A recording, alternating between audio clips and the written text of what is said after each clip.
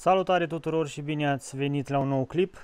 Astăzi vorbim despre Ford Kuga, sau mai bine zis, vă prezint cum arată un Ford Kuga din 2013, motorizarea 2.0 TDCi, 163 de cai putere, care a fost achiziționat recent la prețul de 11.500 de euro, bineînțeles uh, adus din Germania. Am ales să prezint această mașină deoarece mie personal îmi place foarte mult și îmi plac foarte mult opțiunile care se găsesc pe acest model și am impresia că este nivelul de echipare titanium, adică ultimul nivel de echipare a celor de la Ford. Vom începe cu exteriorul. La exterior putem observa din lateral forma pe care Ford Kuga o are și avem și jantele pe 17 inch care sunt din, dintr-un aliaj și au un model foarte frumos. Cauciucurile sunt pe dimensiunea 235-55 R17. Mai avem încă un set de cauciucuri și încă un set de jante pentru iarnă. Au fost incluse în prețul de 11.500 de euro. Iar în lateral mai observăm și aceste inserții care sunt uh, obișnuite pentru un nivel de echipare mai, mai înalt. În partea din față observăm bara care este destul de proeminentă. Dacă ne uităm din partea asta, vedem că unghiul de atac al lui Ford Kuga este destul de scăzut. Mașina vine echipată cu senzor de parcare față și senzor de parcare spate. Senzorii de parcare față sunt, sunt în număr de 6, 4 pentru zona din față și 2 în lateral, care ajută și la sistemul de parcare automată. Da, ați auzit bine, această mașină are și un sistem de parcare automată, sistem care eu, pe care eu personal l-am văzut prima dată pe Renault Arcana, modelul din 2021. Sus avem barele de pavilion longitudinale, iar în partea din spate observăm stopurile care sunt uh, destul de proeminente și care sunt împărțite în două, în partea de sus uh, poziția și frâna, iar în partea de jos avem semnalizarea și becurile care se aprind în momentul în care dăm în marș arier. În spate vă spuneam că avem senzor de parcare, aici sunt în număr de 4 și avem și două evacuări foarte drăguțe, evacuări reale, care, zic eu, dau o, o notă de sportivitate uh, acestui model. Dacă ne uităm mai jos, observăm că modelul este cel cu tracțiune all-wheel drive, adică un sistem automat care nu poate fi decuplat, iar în momentul în care roțile din față au uh, roțile din față își pierd aderența, acest sistem trimite puterea în proporție de 50% și către roțile din spate, fără ca noi să putem umbla la, la modul în care el funcționează. Îmi place foarte mult că întreaga mașină este protejată de aceste inserții din plastic care pornesc de pe aripile laterale, se duc uh, până pe bara față, bara spate, chiar și pe portiere și astfel avem o protecție completă pentru partea de jos a caroseriei. Un alt aspect foarte important, pragul mașinii este la fel protejat de o bucată din plastic și astfel praful și mizeria nu mai ajung atât de ușor acolo. Acum să trecem la interior, mai bine zis la portbagaj. Portbagajul se poate deschide în patru moduri diferite. Primul mod folosind cheia. Dacă apăsăm de două ori, el se deschide automat. Probabil că dacă era opțiunea asta pe Duster, aș fi optat pentru dânsa și apăsăm de două ori și el se închide.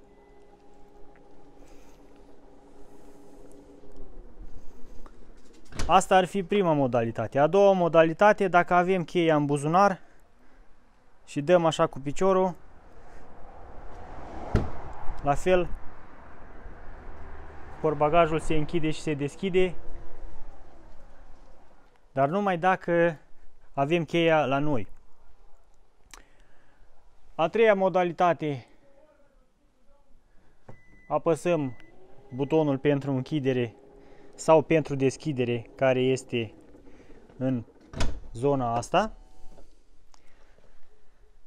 Și nu în ultimul rând, a patra modalitate, avem un buton special pentru închis și deschis portbagajul pe consola centrală.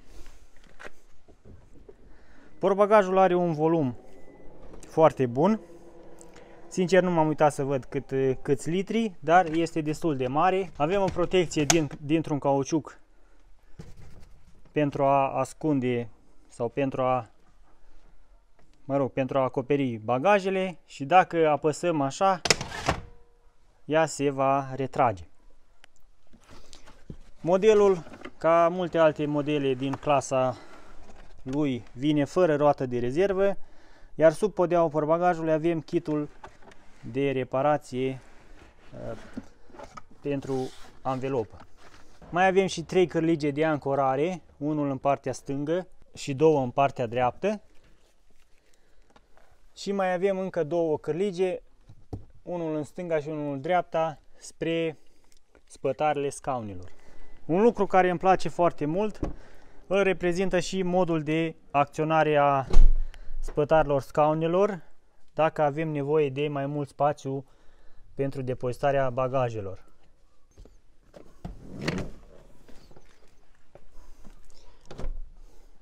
Așadar, este foarte, foarte simplu să coborâm spătarele scaunelor. Iar pentru a realiza acest mecanism, cei de la Ford au venit cu o soluție foarte ingenioasă și anume au făcut banchetele scaunelor foarte subțiri.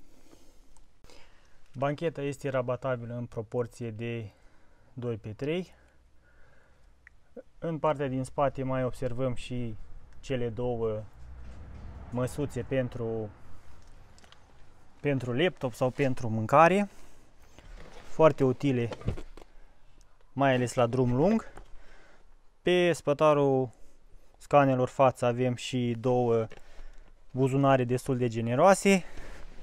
Tapiseria este full piele. Mai avem și o priză de 12 volți și guri de, de ventilație pentru pasagerii din spate. Scaunele sunt foarte confortabile. După cum vedeți, există foarte mult spațiu. Avem două degete pentru uh, genunchi. Scaunul din față este setat pentru înălțimea mea, iar la, la cap avem chiar mai mult spațiu decât la genunchi, datorită înălțimii pe care modelul o are. Deci, trei adulți de înălțimea mea vor sta destul de confortabil în, în, acest, în această mașină. Aici observăm că scaunul este un pic deteriorat. S-a desfăcut partea asta. Urmă normală de urzură, zic eu, la numărul de kilometri pe care mașina îi are. Avem geamuri electrice și în spate, inserție de piele și pentru locul unde uh, ar trebui să, să stea antebrațul pe interiorul portierii și spații de depozitare în ambele portiere destul de generoase. La interior, în partea pasagerului din dreapta, avem scaun cu reglaj pe înălțime, lucru pe care nu l-am văzut la niciun SUV pe care l-am mai testat sau condus. Foarte interesant. Și pe lângă reglajul pe înălțime. Avem și reglaj lombar, nu știu dacă se poate vedea. Iar uh, reglajul uh, este manual pentru uh, înainte și înapoi.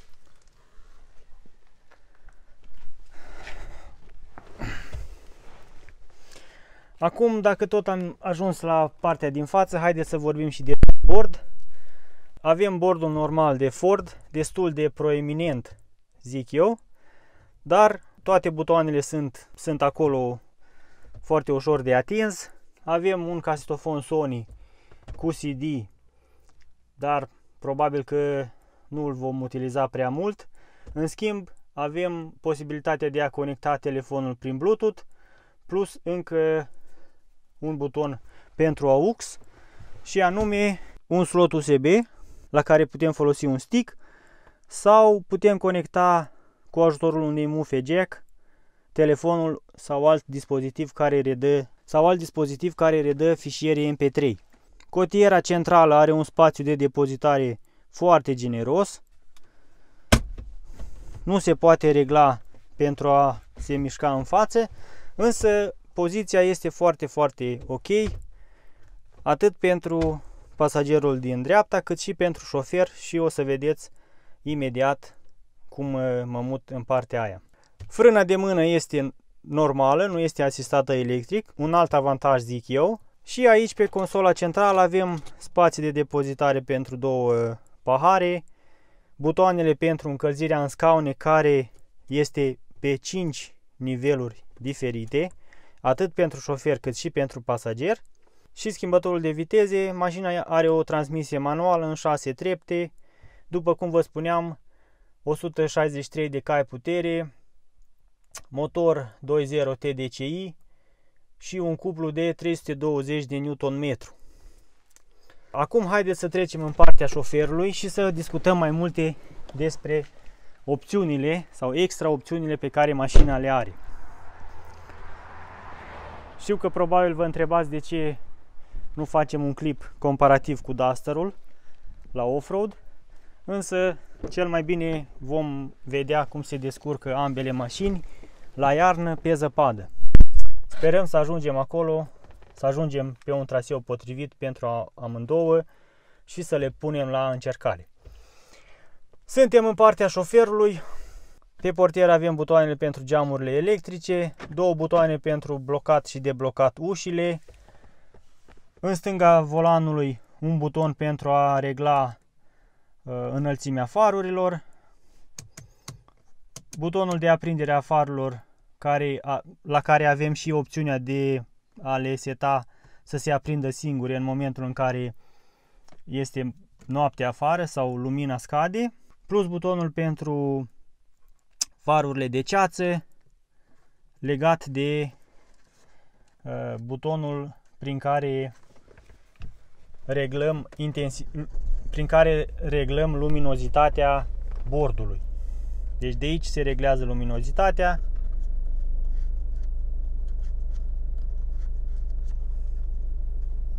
Hmm. Nu există prea mare diferență între minim și maxim. Ne indică faptul că bateria este slabă și trebuie schimbată. Și avem și bordul, în stânga turometru, în dreapta vitezometru, pe mijloc avem rezervorul și temperatura apei. Foarte bine că temperatura apei este clasică cu acest uh, indicator clasic și în momentul în care, dacă, Doamne ferește, există ceva probleme și apa și temperatura apei urcă, uh, putem observa foarte ușor. Iar mai sus avem un, un uh, display foarte mic, dar pe care avem toate informațiile necesare puse într-un meniu foarte simplu. Avem distanța până când uh, se va termina combustibilul, uh, călătoria, cât consumă instant, consumul, consumul mediu, viteza medie sau un ecran în care vedem toate cele patru informații. Kilometrii sunt reali. A fost... Îmi place foarte mult la, la această mașină că are pe lângă luneta încălzită are și opțiunea de parbriz încălzit, iar pe timp de iarnă această opțiune face toți bani. Deci, următoarea mașină, pe lângă Duster, bineînțeles, va fi cu parbriz încălzit. Asta va fi o opțiune primordială pentru mine. Iar pe lângă parbrizul încălzit, are opțiunea de Active Park și Park Pilot. Cred că ele merg în tandem sau nu știu, nu le-am încercat, dar în momentul în care voi ajunge cu mașina, dacă se, se va întâmpla să ajung cu mașina undeva într-o parcare în oraș, voi încerca și aceste două opțiuni. Deci, două chestii are modelul ăsta și le-aș dori și pe Duster. Prima, parbrizul încălzit și a doua, portbagajul automat.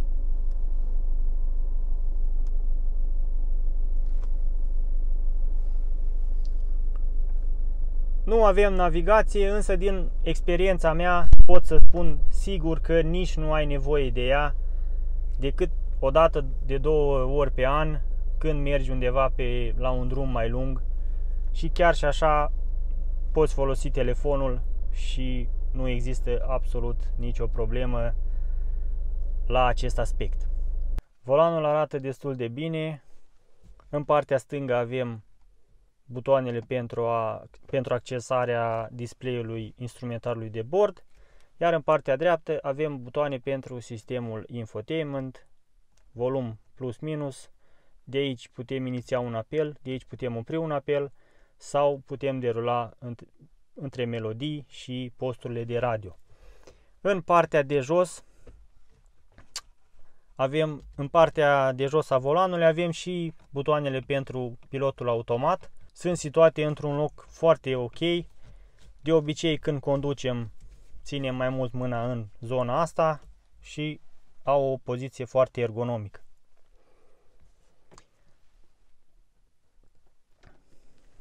Acum să mai pornim o dată motorul și să vă arăt cum funcționează și aștept comentariile voastre în legătură cu acest model.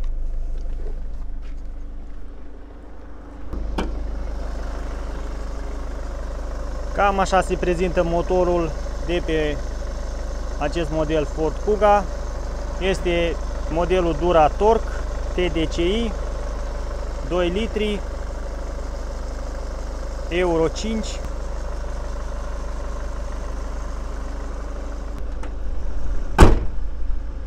Eu cred că funcționează destul de bine, dar acum haideți să pornim la drum și să facem și un test drive, să vă spun impresiile mele, pentru că nu am mai condus deloc această mașină și vor fi niște impresii la cald.